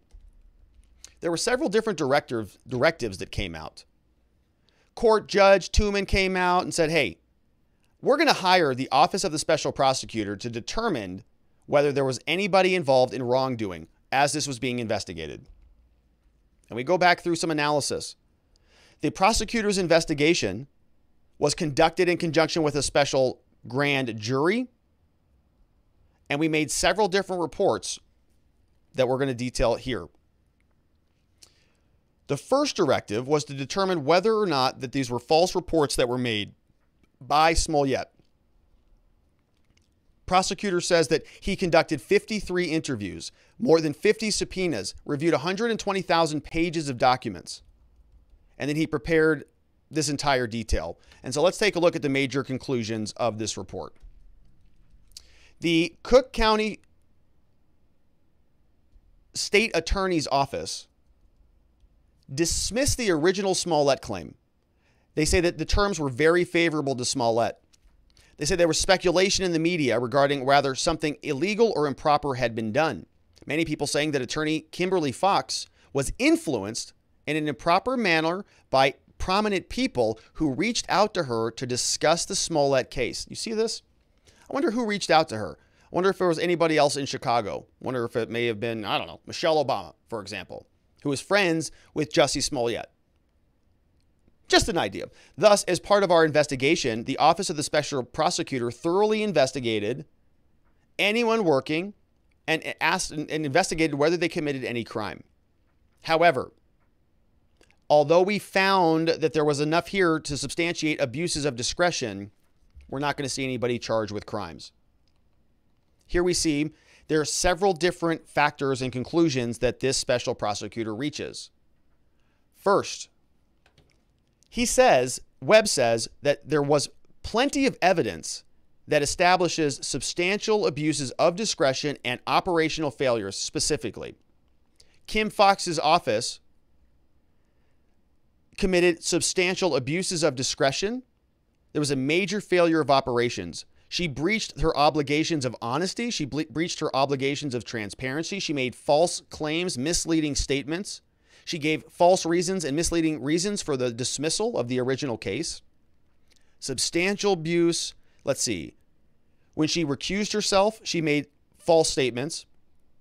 She abused her discretion when she made misleading statements to the public that she stopped communicating with Jurnee Smollett, Mr. Smollett's sister. Oh my goodness. Smollett, okay, so here's what's happening. Attorney Foxx became aware that Smollett was the subject of the investigation. So you have the state attorney, Miss Foxx, gets wind of the idea. Smollett is being prosecuted. Jurnee Smollett, Jurnee and Jussie, Jurnee yeah, is a sister, and she is reaching out to Kim Foxx, who's telling the public, I've recused myself. I'm close to the witnesses. We're not communicating at all. Turns out she's a liar. She was, in fact, talking to Jurnee Smollett, and she was honest, dishonest, and lacking in transparency. They're also saying that Kim Foxx's office committed violations that rise to the level of ethical violations her lawyers relayed false and misleading statements to the public and to the prosecution. But we're not ethical violation, uh, violated in- investigators here. They say the did did not develop evidence that would support criminal charges here. But there are three major conclusions. There were media reports that contained unauthorized leaks of police investigative formations by Chicago PD personnel that were in violation of the CPD's written policies. So, what this is saying is that the Chicago Police Department were leaking police investigative information out to who knows. For reasons set forth in the summary report, the special prosecutor was unable to identify the anonymous CPD sources of the leak. So Chicago PD were specifically leaking documents out to who, whoever, you know, whoever. So you can see these little two different tiers of justice, right? Hollywood actors, they kind of get a separate system a little bit. They get their sister who gets the text message with basically the attorney general of the county or the, the, the district prosecutor of that county, Cook County, second biggest prosecutor's office agency in the country. Very convenient. If you can get that, that's a pretty good, yeah, I mean, it's, you know, it's sort of unethical, but it's Hollywood and it's Chicago. So they reached out to Kim Foxx for questions about this. They said, hey, you want to respond to any of this, Kim Foxx? Her legal counsel, Michael Bromwich, on Tuesday said that this report is deeply flawed. Said that they found no evidence of criminal wrongdoing and no evidence that Foxx was involved in the case after she recused herself. Saying she didn't lie, it's disappointing that Mr. Webb's team suggested that very erroneous statement. He says every incorrect statement, every inaccurate statement is false and misleading. He said, you know, those statements could be attributed to, quote, bad information, or also it could be due to her failed recollection. Can you believe this? All right, these people are just so corrupt. It makes me my blood boil. All right, let's see if you have any questions about this over at watchingthewatchers.locals.com. Not sure if there's anything. Eh, there's a couple here. Monster One says, "Oh, that was on the last one. Never said it made sense. That's tr- okay, you're right. You didn't, Monster One. I wasn't mad at you. I was just, I was just, I, I didn't get it." Sergeant Bob says, "It is not Thursday. It's Kim Day. Cook County has always been full of corruption. Goes back to the days of Al Capone. So we're still on Kim. Oh, no, that's on Kim Foxx. Leafy Bug says bad pro pro. Does that work? In other words, for bad prosecutor? I think it works. What else can you call it? Spawn Dog says, Does anyone know why she was elected? It had something to do with an officer involved shooting where the officer was charged and convicted. Lo and behold, she was going to make a change hold the police accountable, but Jussie didn't fit the narrative, so he gets a pass. Corruption all the way up and all the way down. It really is. It's kind of, it's just, and it's on full display. And they have a special prosecutor who just wrote 59 pages about it. And guess what's going to happen? Probably not much. She just got reelected, so she'll be there for a while.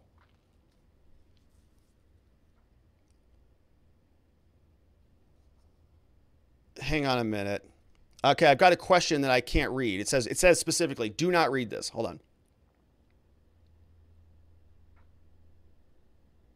Oh, wow, this is pretty interesting.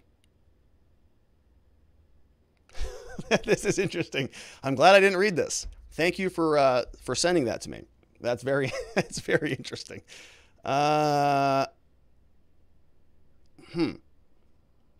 Curious, very curious. All right, sorry about that, folks. Sergeant Bob says, Well, Foxx, elected by the same people as the dysfunctional mayor. I grew up in Chicago in the 50s and 60s.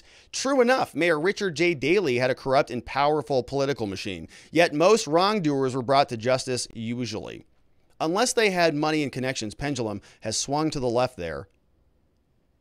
Yeah, yeah, yeah, yeah. So most wrongdoers were still brought to justice. It's a funny comment, Sergeant Bob. It's sort of like that mob justice, you know?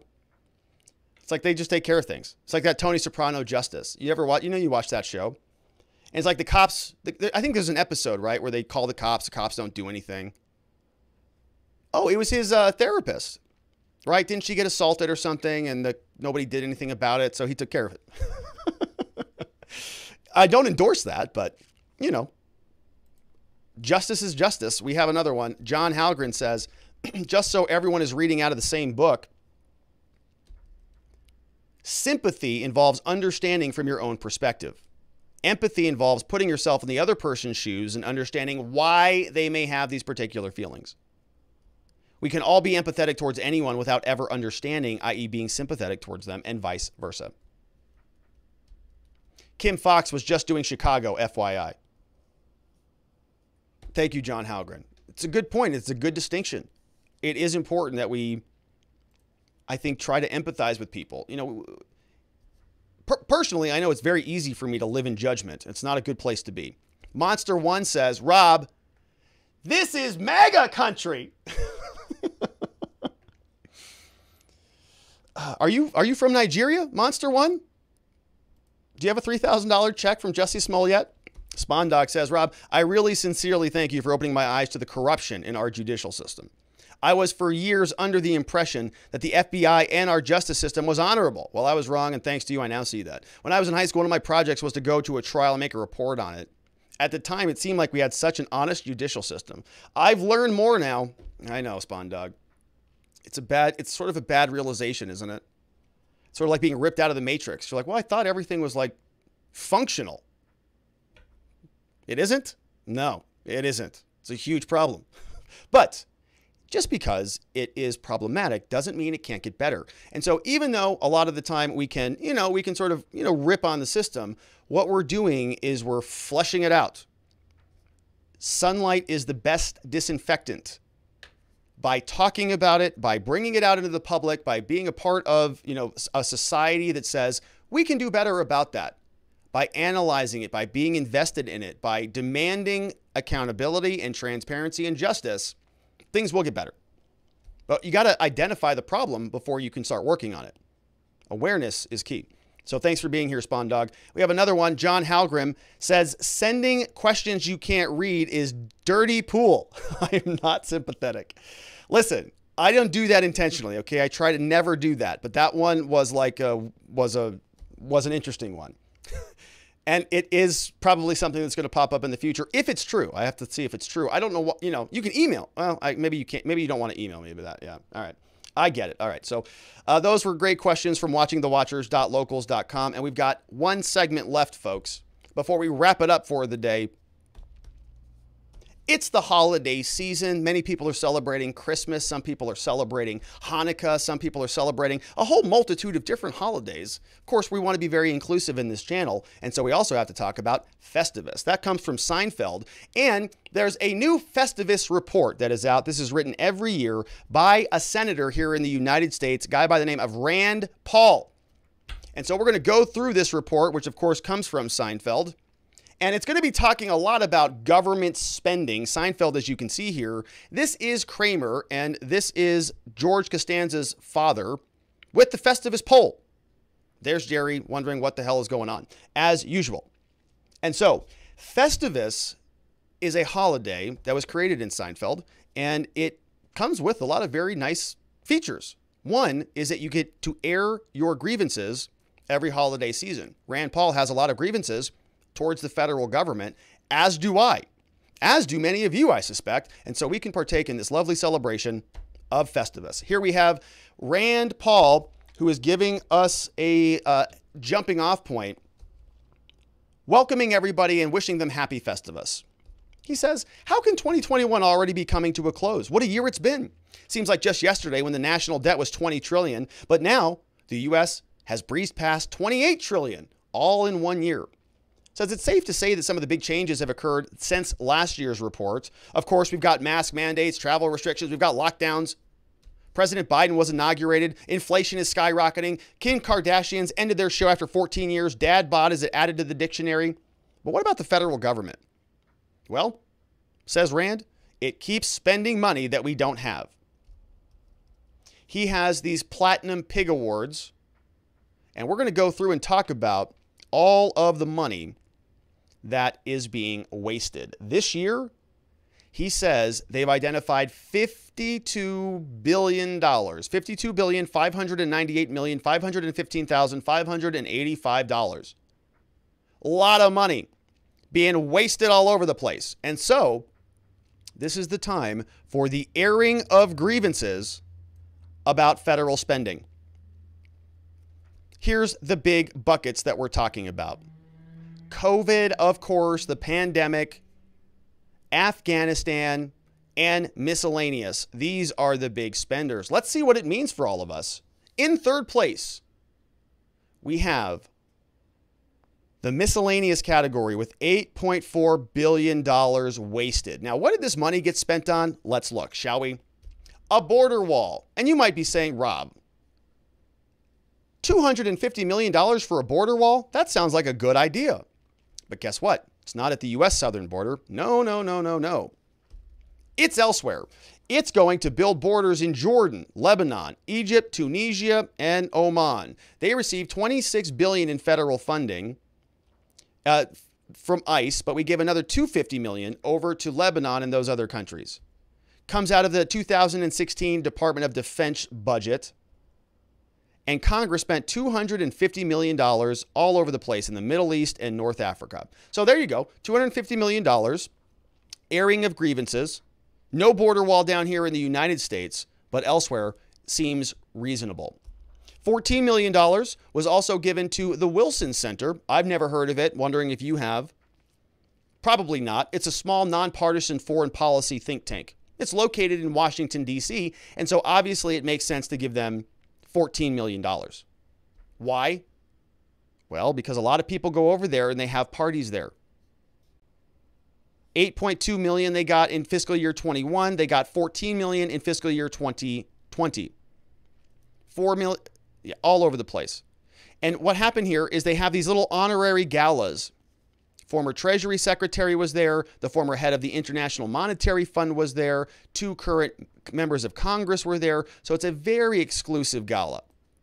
And so you have these oligarchs and bureaucrats that just take your money and funnel it over to Washington, D.C., small nonpartisan foreign policy think tanks to throw galas. During the holiday season, isn't that nice? Next up, second place Afghanistan. We've got $3.8 billion, of course, wasted fiscal year 2021. Where's that money going? Well, 773 million of it was being used to fly around other countries, essentially. There were uh, coalition partners that the U.S. government had to pay for to fly them all over the place. DoD is responsible for the billing and tracking of the country's usage of these goods and services. So for four years, foreign countries used United States government funding to fly our aircraft in Afghanistan for free. Now, there's all sorts of agreements like the Department of Defense could have said, uh, you got to reimburse us for these costs. You know, you don't just get to fly around on a bunch of aircraft for free. But they have to go and initiate the billing process. So our useless Department of Defense that can't evacuate a country that they've been in for 20 something years also can't invoice clients for uh, using aircraft. Great. Due to the lack of data, says Rand Paul, there's no way of verifying how many millions of dollars were lost. Don't you like that? Gross incompetence. The best way, the best estimate that we have is $773 million that has just been blown away all over the place. Rand Paul says, man, talk about a free ride, no question.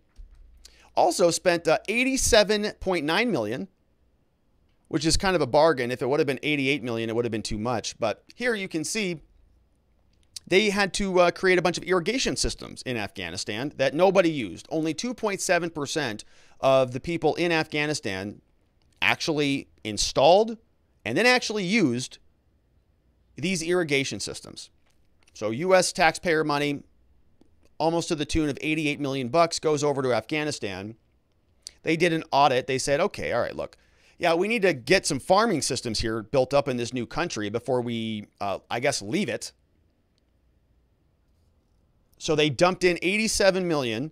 Only 25 of the 72 farmers actually installed the systems, okay? So just over a third actually installed it. Of the 25 who actually did install them, 92% didn't use them as they were supposed to. Talk about good money after bad. So, what happened to the 70 farmers who actually uh, accepted the systems and didn't use them? 14 couldn't be contacted. Seven never got the generator necessary to fill the tank. 21 said they didn't have enough water to even operate the system. One farmer, one of the 25 who actually installed the system, ripped it out because he couldn't afford the fuel to operate the generator. The generator needed to fill the fuel tank. So $90 million goes to a bunch of farms in Afghanistan that nobody actually uses. It's the federal government. They want to raise your taxes. And here is the big kahuna, of course, the pandemic. First place, $40 billion and counting. Of course, these numbers seem very low to me. Very low. Here's what we're spending this on.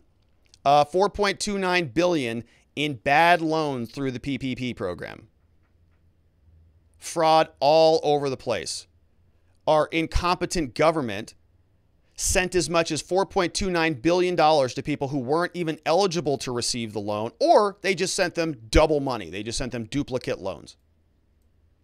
More than 3.6 billion of the loans that the SBA sent out went to those on the Treasury's do not pay list.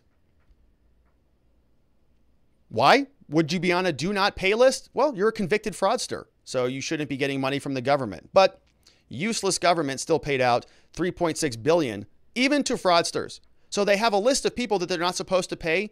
And it's when you're a government the size of the United States, it's hard to keep track of everything. And so you have different lists. And if you're the size of this government, you have a lot of lists. And so they made a very clear list at the Treasury Department. It's called the Do Not Pay List. Remember that scene in Apollo 13 where Tom Hanks puts that little sticky note and says, Do not touch that switch because you'll kill us all? It's kind of like that. Don't pay these people. Well, guess what? They did. They paid them $3.6 billion of PPP loans. It'd be so. It's just sad, man. It's like what? Wow. There have been uh, about 200 prosecutions, 21,000 suspicious loans. They're just printing money out and just dumping it all over the road. Agency was unprepared to manage this task, they said. It was very complicated. The OIG has recommendations on how they can fix it.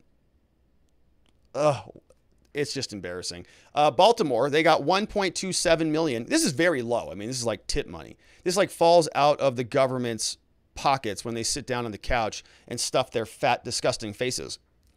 So they received 1.2 million dollars in Baltimore for students who weren't even enrolled at the school. so uh, it's no secret the governments need better oversight. But in Maryland, we had a little bit of a problem. In Baltimore, federal funding per student was a certain number, but they, quote, enrolled over 140 students with whereabouts unknown. 140 just phantom students that they billed the feds for, and they got $1.2 million. Nice. City of uh, Baltimore investigation found some of the administrators were changing grades, padding enrollment with ghost students who were not actually attending the school in order to get more funding. oh, what a joke. All right. You know, hopefully these people are being prosecuted. I doubt it. We'll see. Uh, because there's a lot of January Sixers that are still out there that they got to go get. Here is the accumulation of all the list, uh, list, list that's out there 52 billion. We see 773 million for the aircraft. Uh, U.S. bought Afghanistan airplanes for uh, 549 million. Threw all of those away. Unconstructed buildings left in Afghanistan, 2.4 billion. Good call. We've got COVID relief grant for New York City to display art projects, 25 million for that. That's really nice. That's probably beautiful there. We've got ineligible duplicate PPP loans, 4.2 billion, 36 billion for CARES unemployment. Constructing a border wall in the Middle East, talked about that one. 3.4 billion to replace an assault vehicle over 2 decades. Wonder how that's going. 400 million dollars for planting trees in New York City. I don't live in New York City. I'm not going to New York City. What do I give a crap about their trees for? I don't know. And I love all everybody who's watching from New York City, but I don't know what we have $400 million in the federal budget for there. 4.2 billion for social security payments and others. Oh, the list goes on and on. So, folks, the average taxpayer pays about $15,000 if that is the truth, if that is the average. And if they found only 52 billion, that means they wasted the tax dollars of 3.4 million people, which sounds pretty low. So he's asking the question, was it your money that was wasted? We could have been uh, doing a lot of other things 13,000 miles of highway gone across the U.S. 5.26 times. But no, New York City needs trees and uh, Baltimore needs ghost students. We have 4.5 months of operating the VA, but no, they need border walls in the Middle East. And so you can see all of that. One year and eight months of funding the Department of Energy. And that's all that we've got for the Festivus report that came out, out from Rand Paul. And so that my oh let's take let's take some questions. Let's see if anybody has any thoughts on this one. Not sure that there will be any, but let's see what we've got over here. Couple uh, Sergeant Bob. Sergeant Paul uh, Bob says Rand Paul is a beacon of hope and common sense. Miss Lucky and I love being in Arizona. There is hope here. Plus, we can come to your office for a good coffee and visit. The best to you and your family. It was very nice. We had a nice coffee, and it was very nice to catch up with you and meet you both in person. I've seen you on the monthly local meetup, but never in person, and it's better. We've got Vienticus says, How much of our money is getting wasted because of this? 20 years and counting. Every president, presidential actions, notice on the continuation of the national emergency with respect to certain terrorist attacks. So this came out September 9, 2021. Yeah. Oh, yeah. Yeah. Oh, yeah. Yeah. No, you know, that's never going away. Of course not. Why would it? We have another one from Spawn Dog says, I'm starting to think that taking the red pill was a bad idea. Do I want the truth or do I want the narrative? Yeah, I'll take the red pill. By the way, Rand Paul is close, and I say close to a combat veteran, but he didn't agree to give his life for his country. That's Spawn Dog. That's a that's a nice detail there. I wasn't aware of that. Did he did he serve in some capacity? Falcone USNY is here says the United States is like the most luxurious hotel with no amenities for those of us staying there. Other hotels that are not nearly as nice take care of their guests far more extravagantly. Other hotels have first class service. America is like a luxury hotel with third class service. There's some truth to that. Honestly, it's like what do you get for your taxes exactly? What do you get for it? Like, I'm all for participating in a society, but what are we getting out of this? That's why I think local is better. Because when I pay for gasoline, it goes ideally for the local roads. Local sales tax goes to the local government. My federal income tax dollars that are going to build border walls in the Middle East, what how does that benefit me in any way shape or form? I know that they're going to come out and say, "Rob, it's all about nations and international globalism, blah blah blah." No, I am not buying it anymore. So I don't. I agree with you, Falcone. Don't get it. Vienticus says just because we're talking about bad government finances and the Fed and the creature from Jekyll Island. Oh wait, the Federal Reserve isn't a government-controlled institution. I totally didn't realize that. Yeah, a lot of stuff going on there. It's all just fake money. Okay, I'm not going to read that one either. Thanks for that. Sergeant Bob says massive fraud in PPP Yet the government wants more IRS agents to audit us little guys. Typical. Go after the low hanging fruit. I might owe them 2342. Massive yeah, 2342. Yeah, Sergeant Bob, you didn't disclose that little lunch that you and Miss Lucky had, you know. Right there. Illegal. IRS. John Halgren says, Merry Christmas, Rob, and to everyone watching. And Merry Christmas to you there, John and everybody else watching as well. Couple other questions before we wrap it up for the day. Monster One says, Rob, it's a festivus for the rest of us. It involves wrestling matches with the airing of grievances. You've been challenged. I'll see you soon. I'm down. I used to wrestle. I know a little bit of, about the mats, so let's get down to it, Monster One. I'd have some fun with that, but sounds fun. Happy Festivus right back at you. Leafy Bug says the problem with the never ending deficit spending became too big a deal with to, deal with politically in the mid 2000s and the problem is far bigger today than what it was back then. And it's only getting bigger. The government won't deal with it now or ever. There are way too many votes in cutting back spending. However something that cannot go on forever won't. A total disaster is in the future. And i think that there is a lot of truth to that leafy bug I think that's why you're seeing them freak out about cryptocurrencies. I think that's why you're seeing them talk about CBDCs, these central bank digital currencies. It's going to get interesting. Ty Livin says, Gotta love Rand Paul. Happy Festivus, one and all. And same to you, Ty Livin. Hope that you guys have a wonderful, wonderful Christmas and Festivus wherever you're at. K Bean says, This is off topic, but Kevin Clinesmith was reinstated by the District of Columbia Bar. I saw that. Kevin Clinesmith was that DC lawyer. Oh, I remember his. I remember him. I think I did see that. Thanks for flagging that for me, K Bean. Yeah, that's right. What was he involved in? What case was that? He was involved in the Trump Trump stuff, right? Yeah, ex FBI agent, several months in prison. Trump, yeah, he investigated Trump's 2016 campaign. That's what it was. So here, former FBI lawyer admitted to doctoring an email that other officials relied upon to justify secret surveillance, sentenced to 12 months, and then the bar reinstated him. Don't you like that? Don't you just love that? Oh, oh my gosh. Thank you for notifying me of that, K Bean. Appreciate you being here. Let's take a look at the polls one more time.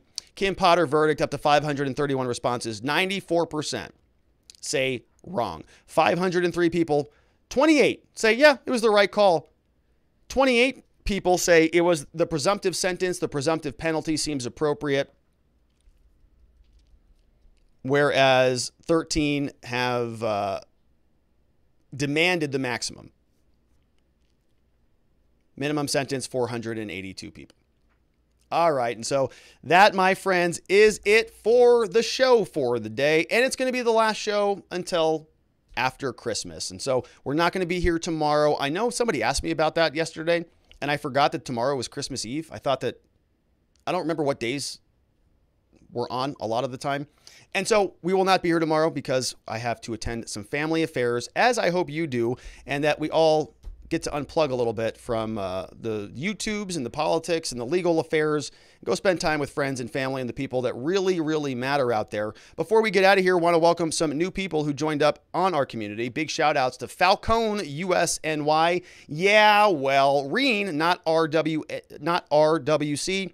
Chuck David, Mark on W, Shindog, Nosy Texas Rosie, Taz Mom, we've got Cookie Monster 2, AJ Darsha, Molly Pop Inc., Guitar Terry, Randy J98, Westworld, Equestrian Girl, Richie DC, Red Jersey, Nikki Dragon, things and stuff. We've got Donna 107, The Vez, Jimmy W. We've got Big Dother Bites, Kimmy Cat, Kevin AZ, Antar 24, Queen of Tennessee, Rebby Lee, Music Box Lady, and Big Ree are all in the house. And that, my friends, is it for us for the day and for the rest of the week. We've got Christmas Eve tomorrow, we've got Christmas on Saturday. Then we have the weekend to enjoy and recover. And then we're going to be back here on Monday to do it all again. And remember, Ghislaine Maxwell jury is back in deliberation. And so we're going to probably pick back up with them.